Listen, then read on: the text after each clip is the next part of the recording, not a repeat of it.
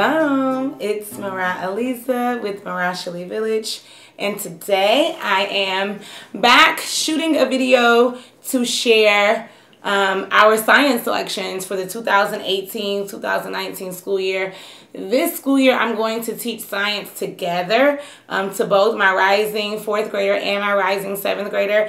And I decided to write the course myself, so I had to compile everything on my own. I did not write everything. Um, I just found resources online and in print um, and put it together to match what I had wrote for them, if that makes sense. So, and why I did that is because they were asking for like an agricultural science. They wanted to learn more about plants and herbs and when they're supposed to take them and what do they do for the body and all of that because I tend to do a lot of that for them. I'm like, oh, well, just take peppermint for this or go, you know, drink some ginger tea for this. And so they wanted to learn a little bit more about that. So I had to write out a course for them because I didn't find anything that existed um, quite the way I wanted to teach them and that they wanted to learn it. So let me go through that first and I'm going to turn the camera around and show you what we're using in order to accomplish that. So the first thing that I want to share is if I had to name this course, it'll be a mouthful. It'll be something like Bio, Agricultural, and Herbal Science with Health and Nutrition and Sex Ed. and the reason for that was they wanted to start in the ground and go all the way to the body. And so my task was to figure out how we're going to do that. And so I started with the ground, like the soil and how do we plant um, food like that's the, the agricultural part. How do you plant food? And then i have one son who particularly has a knack for business. So i went a little further into how do you grow food and then how can you monetize from growing food?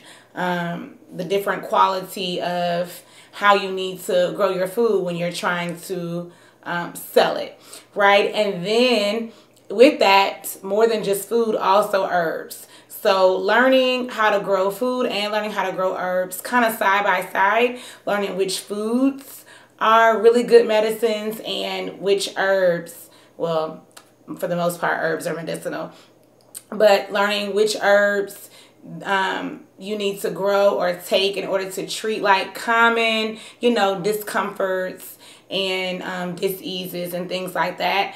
And um, knowing how to grow it and knowing what form it needs to be in to treat whatever you're trying to treat. Like some things are better in powder form or right off the plant or in a tea, etc. So that's really what they wanted to to learn. And then on to stack on top of that, excuse me, um, we I added some health and nutrition in terms of um, your how do we eat? Like what times of day do we eat? What foods do we pair with each other? to um, be our best optimal selves and to help our organs do what they need to do to not go against that right? And then kind of the last leg is um, sex education. So kind of understanding the reproductive system to be a another system of the body. So actually and I, I should kind of back up. It's not just sex um, education. They actually get the whole body. So they learn the nervous system, the skeletal system, the um, digestive system, the muscular system, the reproductive system. It's just the reproductive system is the last one we do so that I can segue right into um, to sex ed. So learning those different systems. What do they do singularly? How, how do they connect to the system? I'm going to say above or below because it's kind of working together like in a circadian rhythm in a, like a little clock or a circular fashion and then how does it help like at large all of your systems together and then we're segueing into um, sex ed. I teach sex ed every year. I teach the same thing every year, and then I add a new layer for that particular age and maturity level. So my rising fourth grader is going to get the same thing that my oldest son had when he was in fourth grade. My seventh grader is going to get what he's always had, plus I'm adding a little bit more. So hopefully that makes sense. I'm going to turn the camera around now and share with you um, our resources and the binder that I put together. All right, so here are the resources that I have selected for this hodgepodge course that I'm teaching.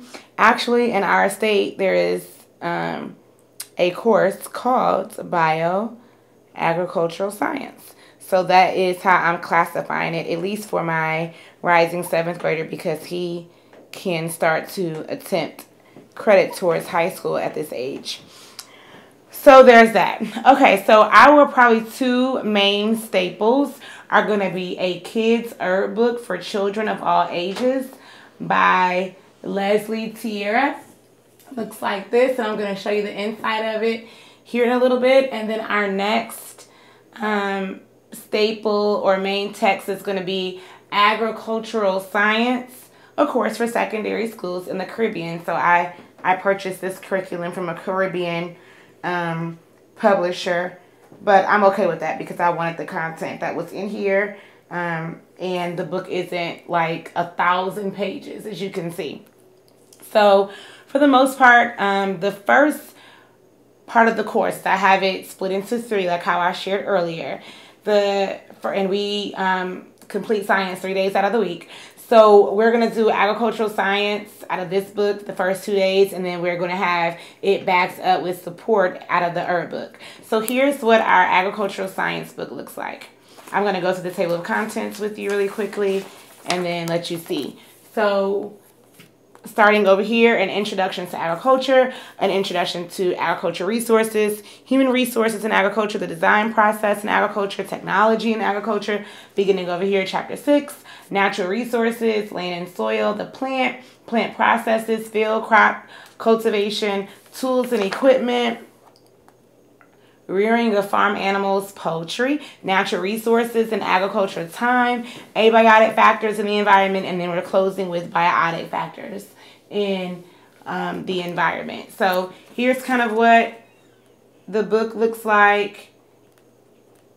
And you may see some of my handwriting or note taking in the margin. I didn't do that much of it because this is for um, my son, the one that I have. I kind of marked all up. But that's what that looks like.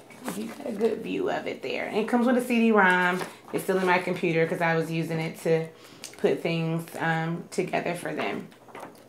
So this is our main um, text as well as a kid's herb book. A kid's herb book is not in it's not in um, color, so you have to be okay with that. But I do like the herbs that it goes over, so I will um, read them off to you. Lemon balm, fennel, I believe you pronounce that mullein, garlic, plantain, chamomile, comfrey, slippery, elm, echinacea, licorice, ginger, elder, calendula, cinnamon, dandelion, and um, yarrow as you can see there.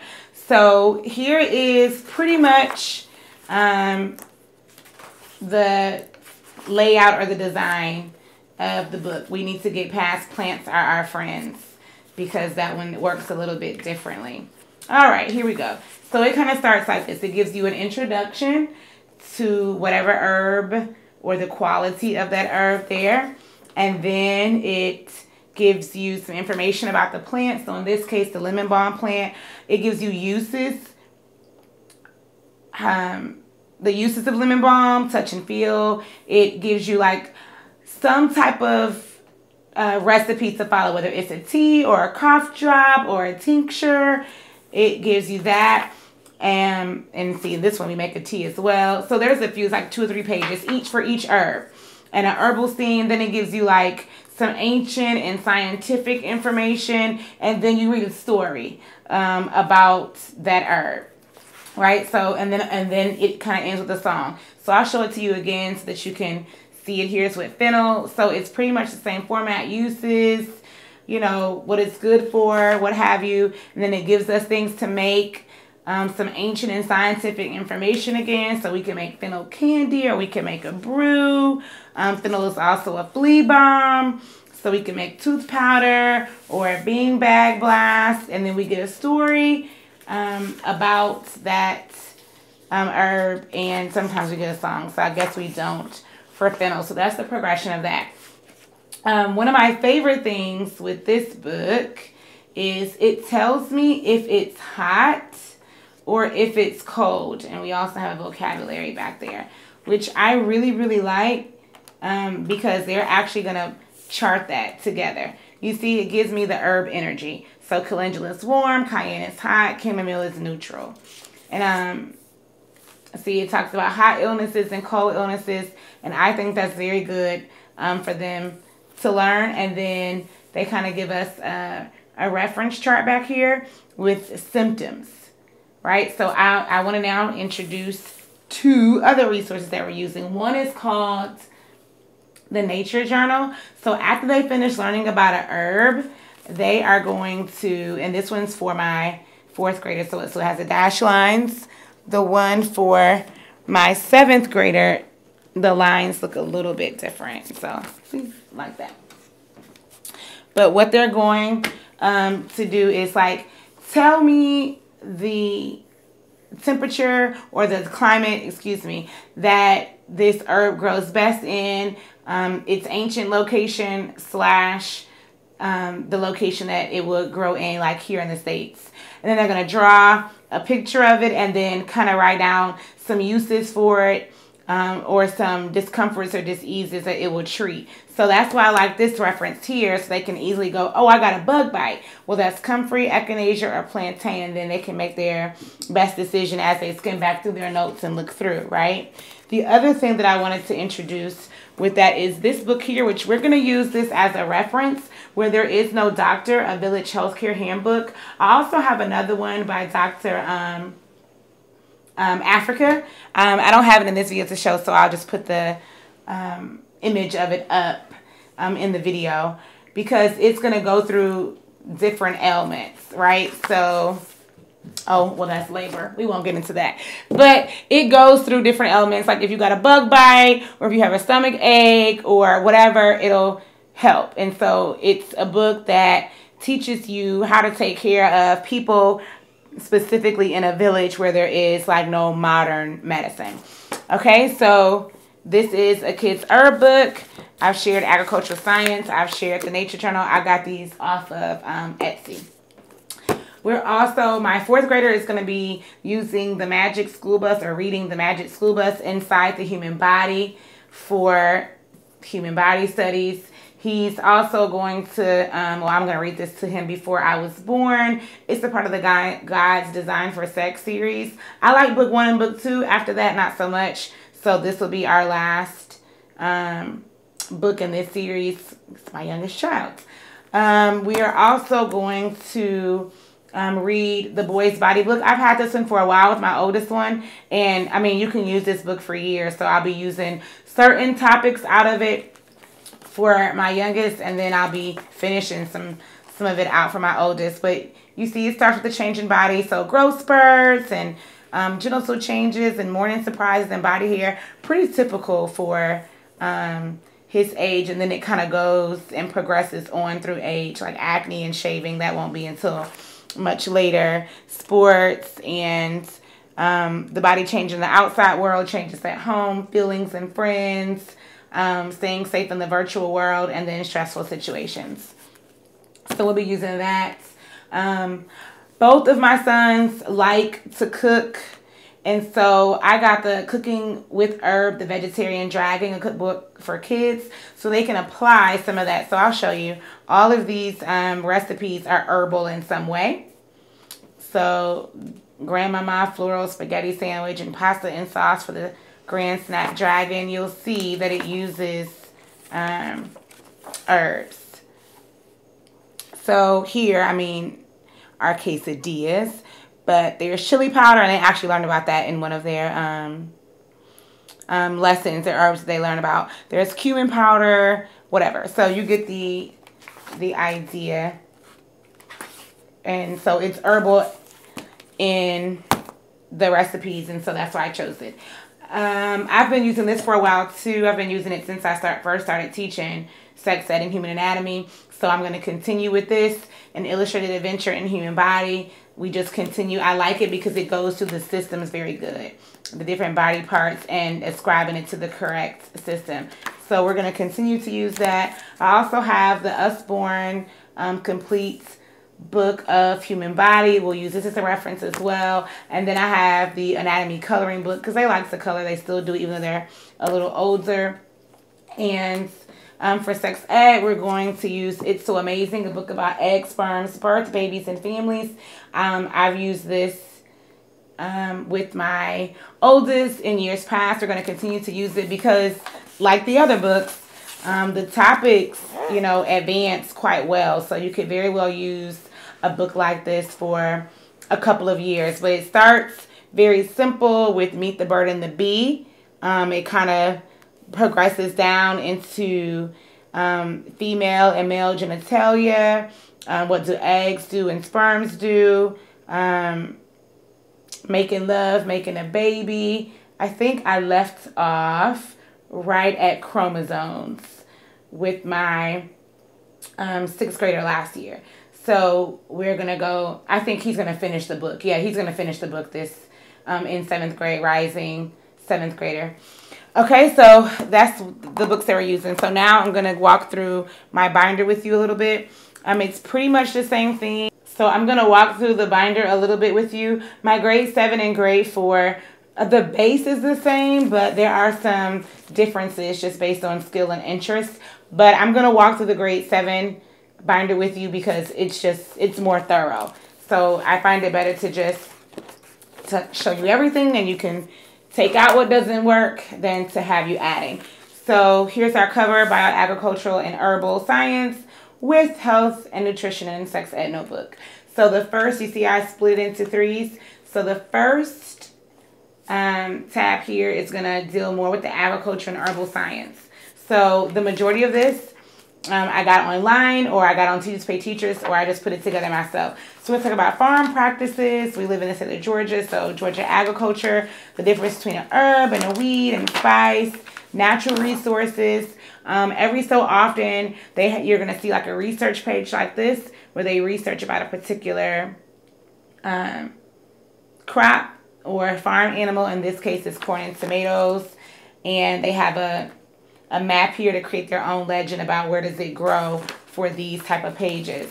Um, herbs of the Magic Garden, we're going to do a little bit of research on calendula, rose, ginger, chamomile, and sunflower seeds. Again, with that crop research, watermelon and grapes. Um, I took this lesson out of The Good and the Beautiful when we learned about groundwater. Um, this is a TPT um, unit when we're learning about layers of soil. And then I have some like from the field to the grocery store to the table activities that I got from TPT. Um, so this is, you know, like, gee, how did that get here? The chocolate chip cookie. We have others like that, learning about monocot, dicot, cotton and peanuts for crop research again. Um, we're going to do some research on bananas, um, the banana debate, and then a banana web quest. Um, classifying plants, basically like flowering plants, non-flowering plants. Another G, how did that get there? Bread, um, crop research, rice and potatoes, crop, re no, this isn't crop, more um, farm research, beef, cattle, and milk. How did that get there? Cheese, um, simple machines in the garden. We're going to do a research page with that. And then if you remember from the agricultural book that I showed you, they had some, a whole chapter on raising poultry. So I had to find a unit. I found this online. Um, with chickens. So the incubation period, chick development, all of that, different types of breeds. So basically I just matched it up to the information that's in um, their book. Um, this is a craftivity we're going to put together. I'll show it online when we get to it. Um, talking about when to best grow foods and which seasons and which month. Um, we're going to do a research on a local fruit or vegetable that's native here to our state in Georgia. Um, where do these items come from? Just learning like which items, which household and everyday items do we use that comes from corn, sheep, cattle, and pig. Um, abiotic and, and biotic factors, if you remember the book. So basically, again, I just am lining that up pretty well. Um, some more research, chicken and eggs. And then towards the end, we're going to kind of divvy a little bit into agricultural chemistry where we're going to kind of create our own bug repellent using lots of the herbs we would have learned about. Um, so that's that. I got that off TPT as well. And then at the end, um, which herbs assist or heal these organs. So muscles, they should be able to put in those herbs. Brain, put in those herbs. Kidneys, etc. And Work their way around. This is kind of like a um, summative assessment that I'm using for this. Then we're going to move into health and nutrition. Um, starting with the government choose my plate. I actually, ours looks a little bit different. I'm having it designed, so I don't have it to show right now, but I wanted them to see the government healthy plate as well as what we would consider a healthy plate just being um, African in descent and following a Hebraic diet. So this isn't long at all. This is probably going to be the shortest unit, probably lasting us about three weeks. Looks like this. Um, and see, they're going to create their own plate based on those things that I just said. Um, and then we have like food, energy, eating on time. Um, and then we're going to end it with the grocery store scavenger hunt, which I got this unit off TPT as well. Then we're going to move into human anatomy and sex ed. Um, these sheets are already prepped for them, but I don't have them in, in the um, in the notebook because it's scattered. Like the brain and the bladder don't have anything to do with each other. So I can tell she just put it together for spacing. So we're just going to pull it out as we need it throughout the course. But this is starting with, you know, about me. I used some worksheets from um, The Good and the Beautiful and then some worksheets from Kiki's Classroom on Teachers Pay Teachers.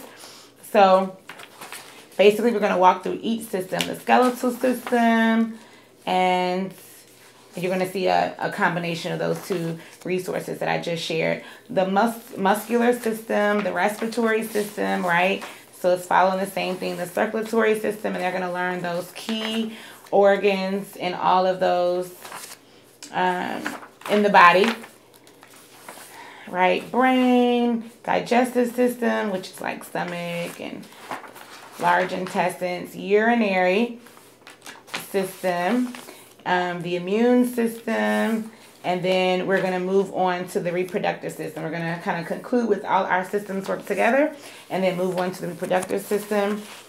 I got this off of TPT as well, just the vocabulary page for them. And then um, the reproductive system, this is another TPT unit that I, I got. So, you know, the whole eggs and sperm and embryo and fertilization. Um, I found this unit to be very appropriate, very kid friendly, and then just some diagrams of what the male and female reproductive system looks like. And that's gonna cut off for my rising fourth grader. My rising seventh grader is gonna go a little further into puberty and like um, I think I chose like five or six STDs slash STIs to talk about. So you see, this is a little bit more into healthy relationships and puberty. There's going to be abstinence, sexual health, that type of thing. Um, what is an STD, STI, and then I believe I chose eh, five or six. Let's see. I know I chose human pap, herpes, um, chlamydia, gonorrhea, Hep B, um, pubic lice, and then we're closing out with the um, HIV virus and um, preventing um, pregnancy, abstinence, sexual health. He has like some reflection questions on that, right? And then that's going to finish out um, the year. And then in the back here, I've just kind of already prepped like little mini booklets or charts or diagrams he'll need to reference. Um, this is more like reproductive and this is more um, human body. This is a combination of things that I put together, TPT and the good and the beautiful. So that's pretty much um, what that will look like. I chose the flex binders. I know I'm going to add to this throughout the year. I just wanted to get a good base. So I could, because I knew I had to write it and put it together myself. So that is what we are doing for science grade 4 and grade 7 for the 2018-2019 school year. I hope this video was helpful for you. If so, please like, share, subscribe. Until next time, shalom.